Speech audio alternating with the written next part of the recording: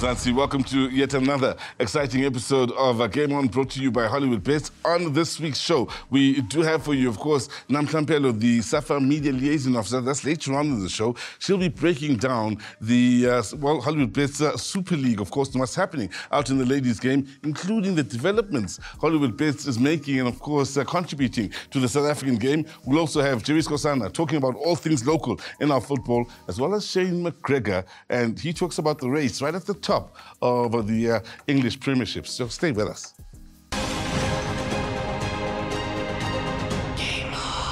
So there's plenty to talk about, and uh, let's waste no time in getting into what's happening out in England. Well, Shane, good day it is to you, my good sir. We spoke last week about Manchester City, Arsenal, City under pressure, of course, in playing catch-up. Uh, away at Fulham, and Fulham have come up with a surprise result or two in uh, recent times, but uh, City cruised through them. 4 0 the scoreline. Yeah, easy game for them, you know, at the end of the day. But uh, no games are easy, but Yep. it turned out to be that way.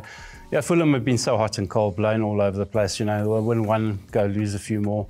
But City got the job done, very professional, and uh, yeah, got 4 0. That's a big victory for them. Remember, for goal difference as well, that's a Yep. big thing. We wondered whether they'd be able to do the business again against Tottenham Hotspur in what was two tough matches out uh, in London. Again, they keep a clean sheet and walk away 2 0 winners against Tottenham. That was the big thing, keeping the clean sheet. You know, a very scrappy game. Yeah. Uh, if you if you watch the game, they, they they got the job done. That's all they had to do was get the results. And all those Erling Haaland haters. I mean, once again, you know, he did nothing in the game basically but scored two goals. Two what important more do you goals. want? Well, what more do you want? Two, two very important goals that could win them the championship coming Exactly. the I. I, I don't mind having to play a team for me, playing for me that does nothing but scores goals. Sure. What a pleasure. Yeah, now Arsenal, they had a tough fixture. And I only say tough because of the rivalry between these two sides, not necessarily because of the form United have been in uh, over the last few years. But Arsenal, again, walk away 1 0 winners. Not quite so easy, but they get the job done. But if you look at if you look at history and, and head-to-heads, Yeah. Arsenal have struggled at when Yes. they've gone to Old Trafford, and to get a result like that, I think it's the first time in many a year that they've won there. It just shows you the, how they've changed, where they come from. I mean, gone, years gone by, they would have just uh, petered out and uh, end up being a draw, but they got the result, one 0 Good luck to them. You know, they're taking the, the the fight to the wire, which is a good thing for us. Now, uh, we have to talk about this quickly. Aston Villa trying to get into a top four position. We know Tottenham lost. Uh, Aston Villa going to join a entertaining game against Liverpool. Six goals they served up, 3 3 the scoreline.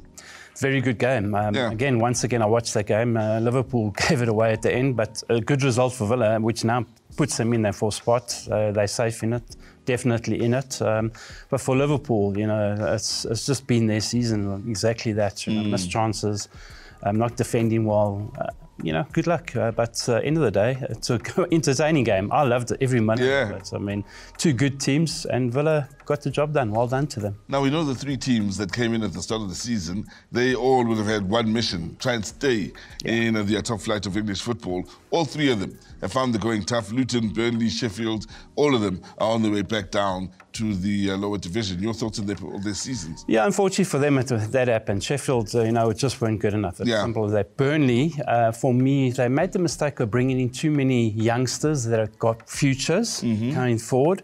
Um, you needed something to, to be kept in there, and it showed right at the end of the season. They hit the form um, with those youngsters coming to the fore. A little bit too late. Talking about bouncing straight back, uh, Leicester City is uh, back from uh, uh, a season in the lower division, quite impressively, of course, coming uh, first in the season, beating Ipswich Town by just one point. So these are sides that have been there in the past Yeah. that come back, of course, to rub the shoulders with the very best in England. I'm so glad that Leicester's back. You know, they, Yeah. they were Add value. Are a huge club. They Yeah. add value. Yeah. I think they're going to learn their lesson from from what happened, um, and and they'll stay up. But they're not going to be one of those sides that come up and then go straight down. I Mm. think they'll be there, and they'll they'll they'll uh, give a, a lot of the teams, the big teams, a, a fright this this coming season.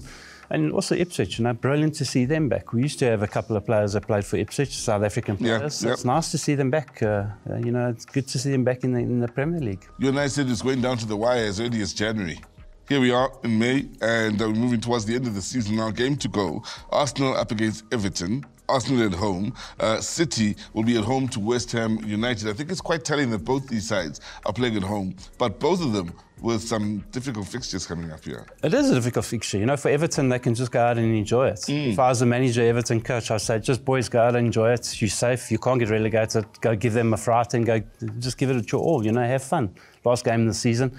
On the other hand, with you got Man City playing against West Ham. Yeah, and West Ham have a little bit of incentive to do Arsenal, incentive, fa- Arsenal exactly. favour. Yeah, yeah. If Arsenal win the league, uh, Declan Rice they got to pay five million extra for him. Yeah, um, Arsenal, yeah, Arsenal West Ham. To West Ham. Yeah. So for West Ham, that's got it.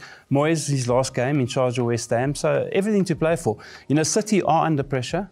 Uh, it's a good time to, to go out there and just have a go and, and have a full go at them, put them under pressure early on, and you, you never know what'll happen. You might get a result. So we're going to have a dramatic ending to the season by the look of it. It's going to be. And you know, the best part is they both kick off at the same well, all the teams, all the teams kick off at the same time, time yeah, five Which is brilliant. So you don't, you're not worried about what's happened. Uh, we need to do this, we need to do that. You just got to go out and do your job. So, uh, up to this point, when you look at City, uh, you look at Arsenal, here they are going into the last games of the season. Did you expect it to be these two teams in particular remaining, or maybe one change in Liverpool being there as well? I expected all three to be there, to be yeah, very yeah. honest with you. But, you know, Liverpool went through their bad patch at the wrong time for yeah, them, and that's happened. But we've been saying now for months that it's going to go to the wire. Mm. And, you know, we've been vindicated. You know, you look at it and you see exactly where they are. Two teams deserve it. Yeah. I think, personally, I would prefer Arsenal to win it because mm-hmm. I think of what they've done and how they bounced back. But end of the day, it's what you do on the day, um, and that's what's come down to what we do on the day, last day of the season. And what a day it promises to be, the last day of the season. Arsenal, can they do it against Everton? Everton have been known to come up in games of this nature and make a game of it. That said, West Ham can do likewise with Moyes uh, bidding farewell to West Ham after what has been a lovely stint for him in his return to the uh, top flight of English football. Or will Manchester City be the side to once again rule supreme over England? We'll find out together with the rest of the world in the days to come, and of course have Shane back to discuss it uh, in what will be a dramatic ending to yet another fun season. So, Jerry Sikhosana up next. Let's discuss things locally.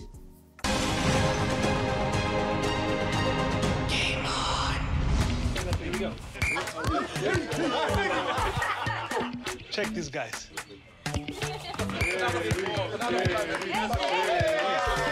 Let's show them how it's really done. I see it. Let's have Your feet like this. Let's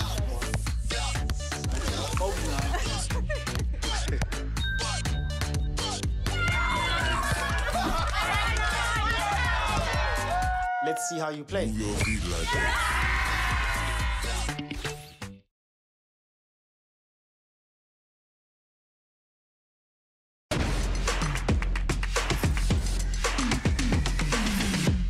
Welcome back, and what a weekend of football we had in the DSTV Premiership last weekend. The big talk was uh, Sides fighting for the uh, number two position, battling against size fighting to get out of the uh, relegation and uh, playoff situation. I'm joined now by Jerry Sikhosana. And Jerry, uh, let's firstly start right at the bottom. Cape Town Spurs went into their last two games uh, needing six points out of those two games. They got four, and uh, while the die is cast, that relegates you. Uh, Babila Pans, First Division. How have you seen the season, all in all? Yes, I, I, think it wasn't something good for Cape Town Spurs. I'm mm. just worried with the number of teams in the Western Cape. You know, we always want to have an expansion of teams being in all the provinces. And mm-hmm. when you talk about coastal in terms of uh, Durban, Cape Town, Eastern Cape, East London, we want to see teams being there, especially Cape Town, because it's got a lot of history. Mm. You remember they used to have uh, Santos who once won the league. Spurs themselves have won the league. Spurs themselves, and uh, uh, I think it was Seven Stars where yeah, McCarthy yeah, yeah. up as a small boy. So I think for me to have a team coming there and then going back to the Motsepe Championship, it was just saddening on my side. Sad indeed, of course, for the city of Cape Town and supporters of Cape Town Spurs, but there are other sides that are still not safe, so to speak. One of them was Moroka Swallows, um, went up against Stellenbosch, and everyone I spoke to, their money was on Stellenbosch for this one. Uh, Swallows, um, having never beaten Stellenbosch before this season, have beaten them earlier in the season 2 0. They beat them again late in the season when they desperately needed it. Again, Baba Shai 2 0. I, I, I, lost my bet with Hollywood bets on that one because if you look at Iswailos, the way they were playing, yes, they are not that difficult team to look at and say they won't get anything. But if you compare them the the Stelis, the way Stelis were were in form. Mm. But for me, uh, uh, Stelis for them to lose go Sundowns, bese bodlala neSwallows, I think it was a little bit of a worrying factor to them, maybe to the players and the coaches. But uh, I think Swallows did well. They played beautiful football. They worked hard for each They other. They worked hard for each other. Yeah. Especially, I would give uh, Gabadinho Mhango, Mm. you know, the applaud because he was a true striker. That's what I've seen. What he was doing at Swallows, the things that he did uh, for Orlando Pirates in terms of scoring goals and being there up front and making sure that everything goes well. So, yeah, it was a big win for Swallows, but really a surprising result for everybody. Yeah. The surprises didn't end there. Later on in the day, Richards Bay were playing Orlando Pirates. Now Richards Bay, now Shai Pirates, high flying Orlando Pirates, high scoring Orlando Pirates. Babashaya 1 0. Pirates couldn't find the back of the net. Yo, and the playing, imagine playing at home. You know, kweska Maminzela Iskoti, which is Orlando Stadium. Yep. And then from uh, uh, qualifying for the Nedbank and then going to lose against the team that is fighting relegation, you know, it was not a good uh, performance.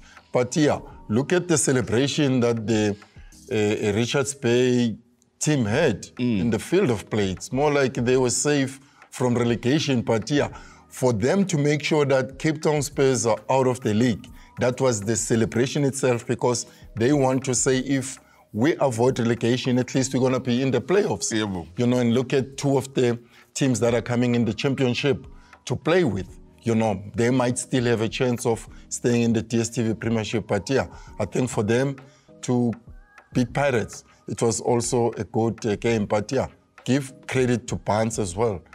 But for me, the goal that they scored, if maybe it was an out ball, it was still going to be a penalty. Sure. Because I saw jersey number 15. Yeah. I was worried to say, hey, what is Jerry doing there? John.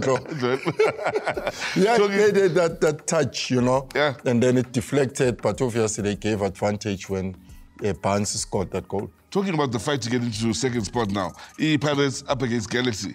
Last game is Stellenbosch. The Sundowns last game. Yay. Next game, rather.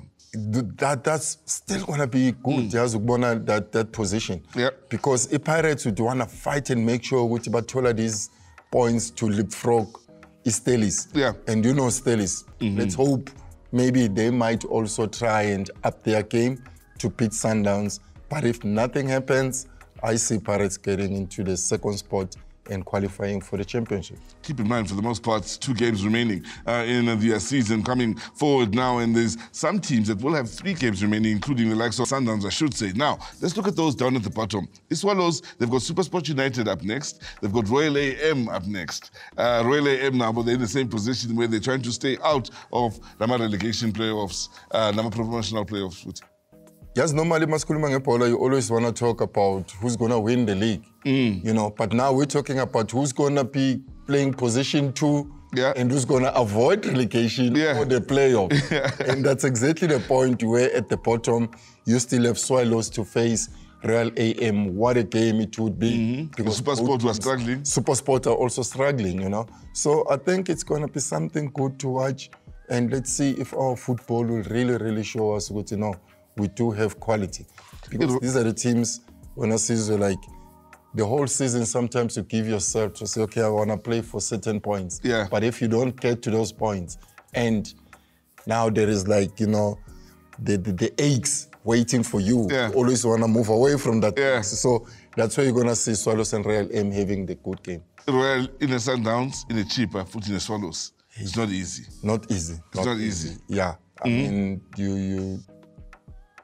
I mean, they they they, they just lost to Sundowns, really. Yeah. Yeah. Yes, they lost twice. Kunzima. Eh, Eh, Kunzima. Natal, keeping in mind that Elijah's Bay will still be up against Cape Town City and Stellenbosch as well. So the race right at the bottom, Jerry Sikhosana, remains one that's very interesting. We're not quite sure who's going to be in the uh, relegation promotional playoffs at this point, yeah? Ayi, sinono- sinoya amakhanda ukuthi kwenzakalani kahle kahle. Sure. Don't know what's going to happen because sometimes ubuka i-team i-form yayo kuyona kushintshe nje ibuye nenye result ongayibelieve kuyona uthi ubuka le team ephansi ikibuye nje yazi nama-results are-right so let's see what's going to happen but i mean it's a good thing to talk about and see what's up for the teams that want to stay in the DSTV Premiership. Exciting times, of course, in the battle for CAF places and the battle to avoid the promotion relegation playoffs at the end of the season.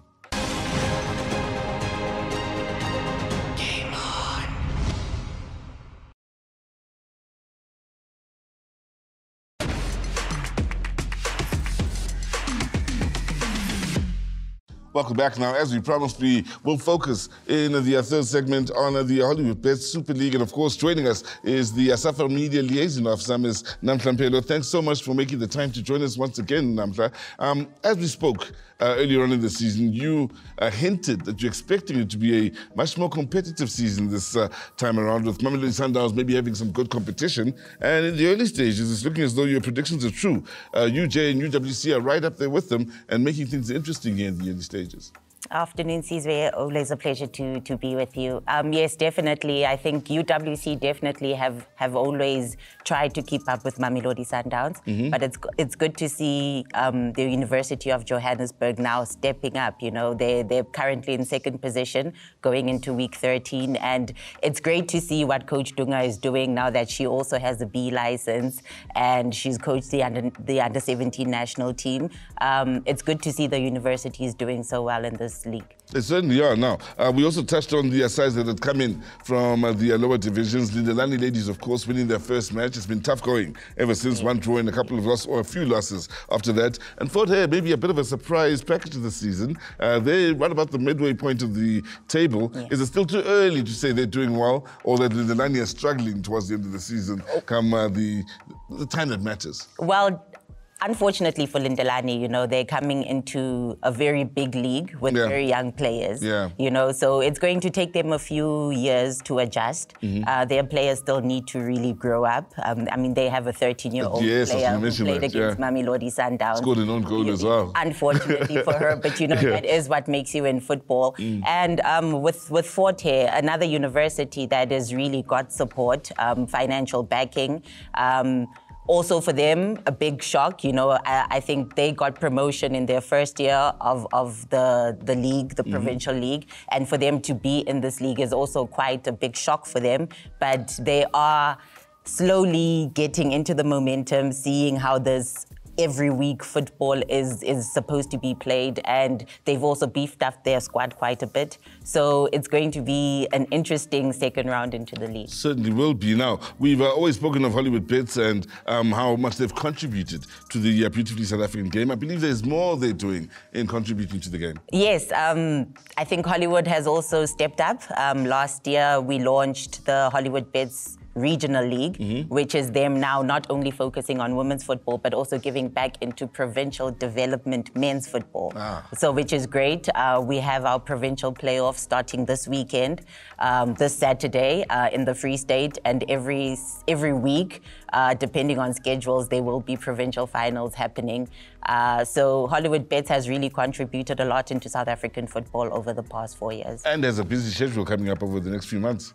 No, definitely. Um, they're busy, obviously, not just their football. They Well, they have COSAFA, they have Super League, which will continue into June mm-hmm. uh, after Banyana, unfortunately, not going to the Olympics. Yeah. Um, they also have a whole lot of horse race challenges that are happening. You know, they dominate KZN mm-hmm. uh, between June and July, which is great for them as a sponsor. And we are honored as the South African Football Association to have them on board. Well, we certainly are honored to uh, have them on board. And I can tell you that uh, Hollywood Bets has gone one step further. Uh, they are now, um, well, sponsoring an academy uh, led by the uh, legendary Mlungisi Professor Ngubane. So let's find out what Hollywood Bets and Professor Ngubane are up to in trying to ensure they are doing their bit to improve South African football.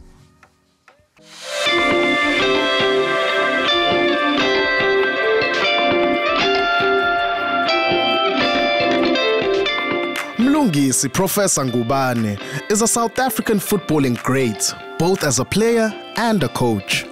Professor Ngubane established his soccer academy in Montclair, Durban in 2019. Hollywood Foundation recently lent support to the academy through a sponsorship of much needed kits and training equipment. Mlungisi, Professor Ngubane is an icon in South African football. Uh, he's regarded as one of uh, the best footballers uh, to have ever come out of uh, South African football. So when we received his sponsorship request, uh, we thought we'll not be doing justice uh, if we are not partnering with him. so that's why we decided to sponsor him. Montclair, like many other suburbs across the country, is plagued with social ills that threaten the well being of youngsters. Through his academy, Professor Ngubane has helped hundreds of youngsters in the area to develop their skills and stay away from these social ills by keeping them active and engaged in sports. We started this uh, in 2019 trying to help underprivileged kids. As you can see, kids are all over here.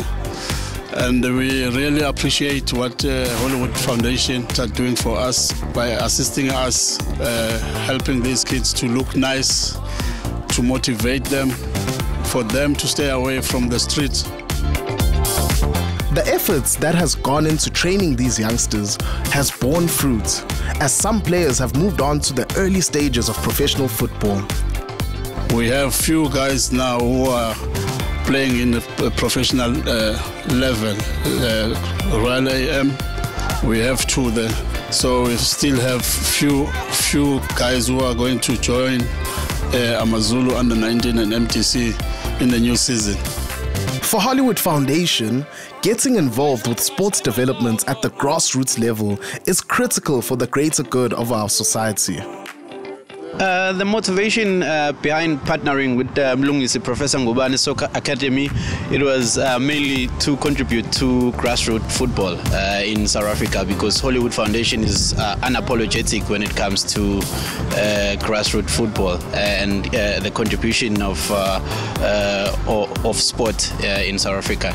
We are happy for sponsored by Hollywood Foundation because some some in the team they don't have they don't have a, a kids that help us a lot. Ithuba lokuthi sikwazi ukuthi sijabulise and sigqugquzeleke ukuthi sikwazi ukuqhubela phambili. As sebancane nathi we wish to play um, ku-PSL njengoba nathi nathi sinama idol esibuyela kuwona nathi one day siyafuna ukuba i-idol yabanye abantwana.